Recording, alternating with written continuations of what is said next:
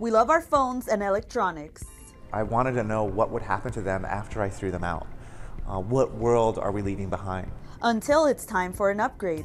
Nathaniel Stern's The World After Us explores the destiny of our favorite gadgets after we move on from them. It's meant to give us a kind of intimate relationship to what we throw out and where the earth might claim or be unable to claim it.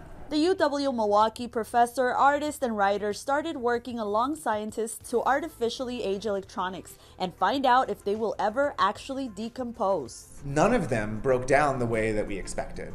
Uh, none of them broke down the ways that we hope for.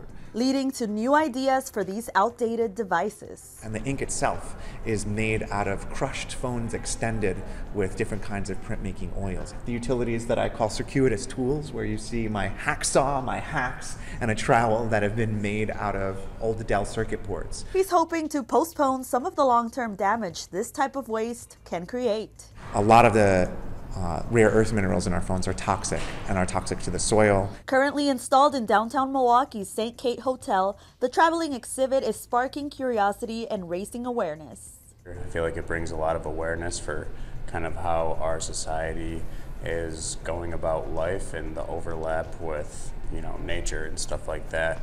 You know, what's going to happen to all these products um, down the road when we're uh, putting them in landfills and stuff like that. The exhibit is letting people get up close and personal with the experiment, where they might even encounter something they previously owned, giving them a perspective of how long they can hold up.